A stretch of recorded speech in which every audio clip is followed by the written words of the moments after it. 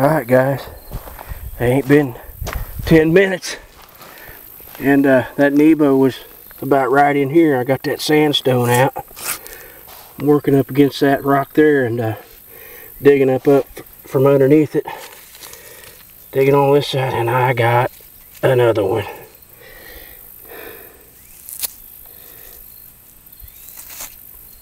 Looks like an ear might be dinged on. I don't know, maybe just sharpened down to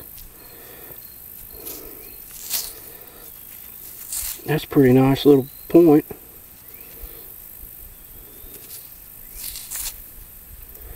Well, we'll keep digging. Get back with you.